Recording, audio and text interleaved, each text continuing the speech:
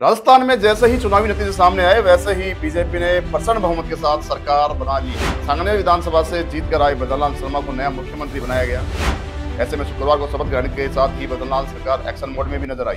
ऐसे में आज हम आपको वे कुछ अहम कार्य बताएँगे, जो सीएम बदनलाल शर्मा के लिए बड़ी चुनौतियाँ बनी हुई है। राजस्थान में जैसे ही चुनावी नतीजे सामने आए, वैसे ही बीजेपी ने प्रसन्न बहुमत के साथ सरकार बना ली है। वहीं पे प्रदेश को चौदह नया सीएम मिला। सांगनेर विधानसभा से जीत कर आए बदनलाल शर्मा को नया मुख्यमंत्री बनाया गया। शर्मा ने शुक्रवार यानी 15 दिसंबर को रामनिवास बाग स्थित अल्बर्ट हॉल में प्रधानमंत्री नरेंद्र मोदी सहित कई कद्दावर नेताओं की उपस्थिति में शपथ भी ली ऐसे में शुक्रवार को शपथ ग्रहण के साथ ही बदनलाल सरकार एक्शन मोड में भी नज़र आई। शुक्रवार की देर रात बदनलाल शर्मा ने प्रेस कॉन्फ्रेंस बुलाई और पेपर लीक, महिला अत्याचार, एंटी गैंगस्टर टास्क बनाना और भ्रष्टाचार के मुद्दों सहित अन्य कई मुद्दों पर सरकार द्वारा उठाए जाने वाले ठोस कदमों के बारे में जनता को बताया। जनता उनके इस फैसलों पर सहमत भी है। लेकिन भजनलाल शर्मा के सामने कुछ चुनौतियाँ अभी भी मौजूद है, जिनका ज़िक्र ना तो सीएम ने प्रेस वार्ता में किया और न ही आमजन आज भी जानता है। ऐसे में आज हम आपको वे कुछ अहम कार्य बताएँगे, जो सीएम बदनलाल शर्मा के लिए बड़ी चुनौतियाँ बनी हुई हैं। अब देखने वाली बात यह होगी कि बदनलाल शर्मा उन चुनौतियों का सामना कैसे करते हैं।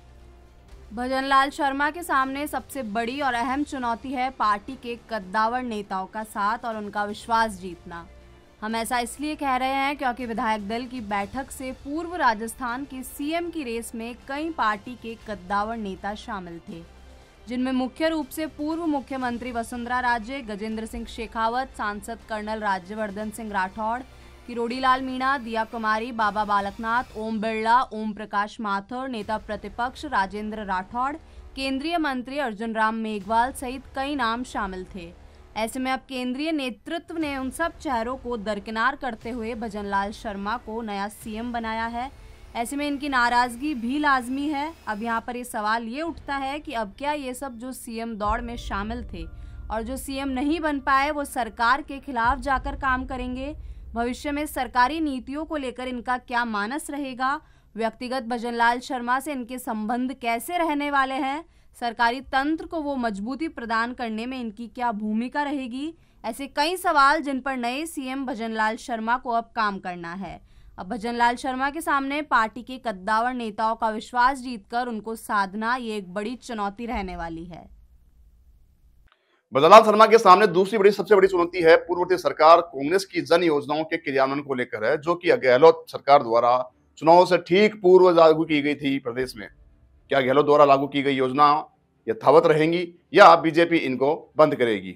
गहलोत सरकार द्वारा चुनाव से पूर्व जनता के लिए कुछ महत्वपूर्ण योजनाएँ लागू की गई थी, जिसमें चिरंजीवी योजना अहम है। इस योजना के अंतर्गत सरकारी नियम अनुसार 25 लाख तक के फ्री में इलाज का प्रावधान है। ऐसे में कांग्रेस सरकार से पूर्व मुख्यमंत्री अशोक गहलोत ने सोशल मीडिया के ज़रिए योजनाओं को लागू रहने की अपील भी की है।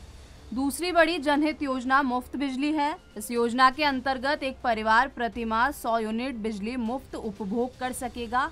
ऐसे में मुफ़्त बिजली योजना को अनवरत चलने देना भी बड़ी चुनौती रहने वाली है। नई सरकार के सामने अब आने वाली तीसरी सबसे बड़ी चुनौती है ओपीएस यानी ओल्ड पेंशन योजना।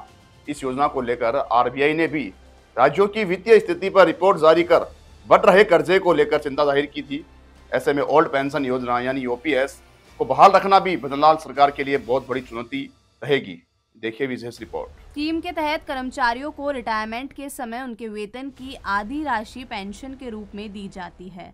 इस योजना में अगर रिटायरमेंट के बाद कर्मचारी की मृत्यु हो जाए तो उनके परिजनों को पेंशन की राशि दी जाती है। पेंशन देने के लिए कर्मचारियों के वेतन से किसी भी तरह की कटौती नहीं होती है। पुरानी पेंशन स्कीम में रिटायरमेंट के समय कर्मचारियों की अंतिम बेसिक सैलरी का 50 फ़ीसदी, यानी आधी राशि तक पेंशन के रूप में दिया जाता है। इस स्कीम के ज़रिए रिटायरमेंट के बाद मेडिकल भत्ता और मेडिकल बिलों के रिम्बर्समेंट की सुविधा भी दी जाती है। इस स्कीम में रिटायर्ड हुए कर्मचारी को 20 लाख रुपए तक ग्रेजुएटी की रकम दी जाती है। ऐसे में राजस्थान वर्तमान में वैसे ही कर्जे में है और ये मुफ़्त योजनाओं ने भाजपा की सरकार की टेंशन बढ़ा दी है। अब देखने वाली बात ये होगी कि भजनलाल सरकार इन योजनाओं को बहाल रखती है या इन्हें बंद करती है।